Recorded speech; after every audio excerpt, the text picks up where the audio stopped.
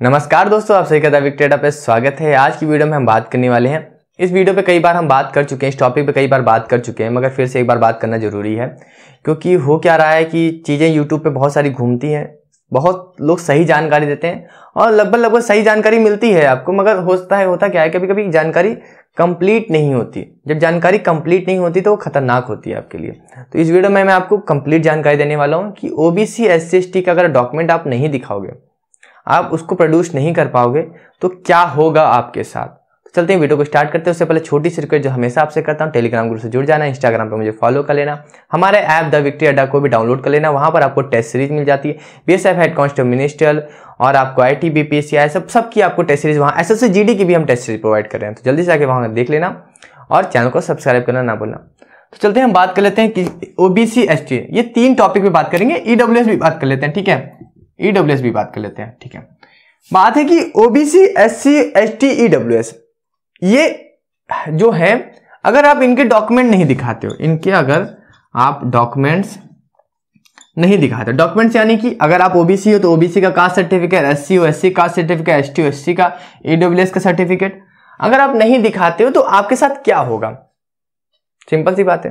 देखिए, आपके साथ होगा कि आप यूआर में चले जाओगे। ठीक है? यू आर मतलब होता है अन रिज़र्व ठीक है? अनरिजर्व अनरिजर्व मतलब कि आपको कोई आरक्षण नहीं मिलेगा। अगर आप OBC S C S T हो या ईडब्ल्यू हो तो आपको आरक्षण मिलता है। जैसे ओबीसी को क्या मिलता है? आरक्षण। आपको आरक्षण का मतलब कि आपकी एज में छूट मिलेगी आपको और आपकी मेरिट अलग बनेगी। ठीक है? ये दो चीज़ होता है।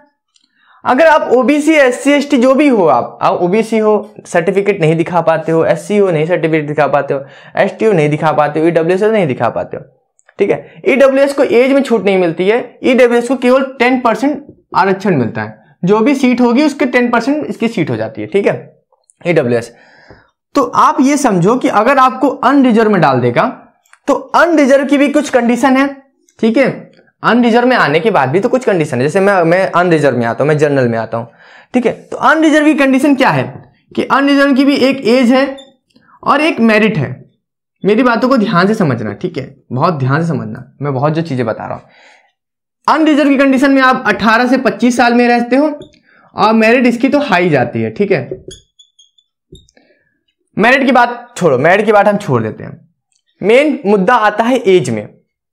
अगर ओबीसी कोई आता है तो उसको तीन साल का एज में रिलैक्सेशन मिलता है। यानी कि वो 18 से 28 तक कर सकता है और एस सी को पाँच साल का मिलता है। यानी कि वो 18 से 30 साल तक कर सकता है। अगर आप 18 से 25 साल के हो और आप ओबीसी नहीं दिखाते हो तो अच्छी बात है अनरिजर्व में आप रह जाओगे। कोई दिक्कत नहीं, आपको डिस्कालीफाई नहीं किया जाएगा।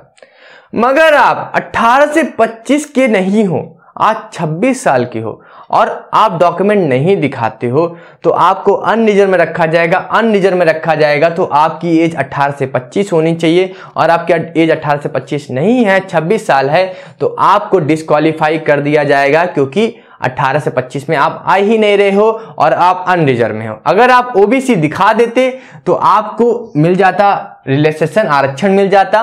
तो आपको मिल जाता, आप डिस्कालीफाई नहीं होते, मगर अगर आप ओबीसी नहीं दिखाते हो तो आप आ जाओगे अनरिजर्व में। अनरिजर्व में आने के बाद आपको इस कंडीशन को फुलफिल करना पड़ेगा, यानी कि आपको 18 से 25 आपको होना ज़रूरी है। तो मैंने बताया था कि आप मतलब कि बाहर हो जाओगे, मैंने एक लड़की का भी उदाहरण दिया था, जो अपना जो डॉक्यूमेंट था, वो डॉक्यूमेंट नहीं दिखा पाई थी ओबीसी का, उसको बाहर कर दिया गया था। उसका मेन रीजन यही था वो 18 से 25 की नहीं थी, वो 26 साल की थी और उसने अपना ओबीसी का सर्टिफिकेट नहीं दिखा पाई थी। ओबीसी का सर्टिफिकेट नहीं दिखाया तो उसको अनरिजर्व में डाल दिया। अनरिजर्व में डाल दिया तो वो 18 से 25 साल में नहीं आई 26 साल की हो गई और उसको डिस्कालीफाई कर दिया क्योंकि वो ओवर एज हो गई। क्योंकि एज में आपको 18 से 25 होना ज़रूरी है।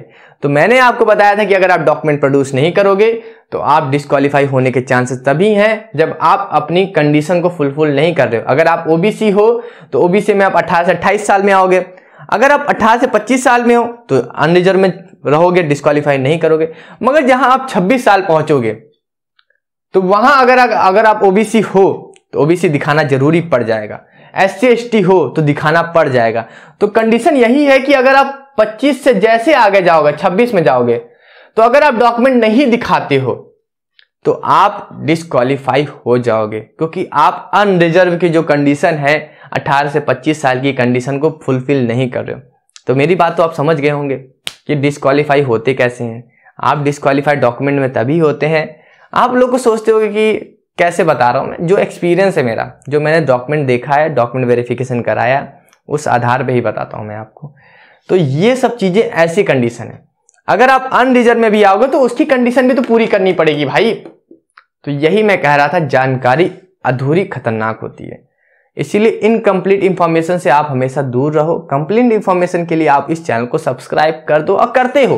मुझे पता है, आप बहुत प्यार दे रहे हो इस चैनल को। ऐसे ही अपना प्यार बनाए रहो। मैं आपको ऐसी इंफॉर्मेशन देता रहूँगा जो आपको कोई और नहीं देगा। मैं ऐसे पॉइंट्स आपको बताता रहूँगा जो आपको कोई और नहीं बताएगा। एकदम पॉइंट टू पॉइंट बात कहूँगा तो आप देख सकते हो, ये पॉइंट मैंने जो बताया, ये बहुत ही इंपॉर्टेंट पॉइंट है कि जहाँ 26 के हुए तो आपको डॉक्यूमेंट दिखाना ज़रूरी पड़ जाएगा कंपलसरी है। अगर आप ओबीसी क्लेम करना चाहते हो एस क्लेम करना चाहते हो तो आपको डॉक्यूमेंट दिखाना पड़ेगा, तभी आपको एज में रिलैक्सेशन मिलेगा, तभी आपकी मेरिट दूसरी बनेगी। नहीं तो अनरिजर्व में आने के बाद आप 18 से 25 साल में आ जाओगे, आपकी मेरिट हाई जाएगी और 18 से 25 साल अगर आप नहीं हो तो आप डिस्कालीफाई हो जाओगे। तो आप समझ गए होंगे, जो मैं आपको समझाना चाहता हूँ। बहुत साफ़ सस्तों में बोल दिया है मैंने। और एक बार वीडियो नहीं समझा तो वीडियो दोबारा देख लेना, समझ में आ जाएगा। तो वीडियो को समाप्त करते वीडियो अच्छी लगे तो वीडियो को लाइक कर देना। चैनल को सब्सक्राइब तो ज़रूर कर दोगे। और इंस्टाग्राम पे मुझे फॉलो कर लेना। हमारे ऐप को डाउनलोड कर लेना। द विक्ट्री अड्डा को। वहाँ पर आपको टेस्ट सीरीज़ मिल जाएगी। B S F head constable minister S I steno I T B P S S C G D तमाम टेस्ट सीरीज़ आपको वहाँ मिलती रहेगी। और मेरे नए चैनल इंडियन फौजी फ़िज़िकल एकेडमी को भी सब्सक्राइब कर लेना, वहाँ पर आपको फ़िज़िकल रिलेटेड वीडियो मिलती रहेगी। तो अभी के लिए तो अलविदा, मिलते हैं नेक्स्ट वीडियो में। Thank you so much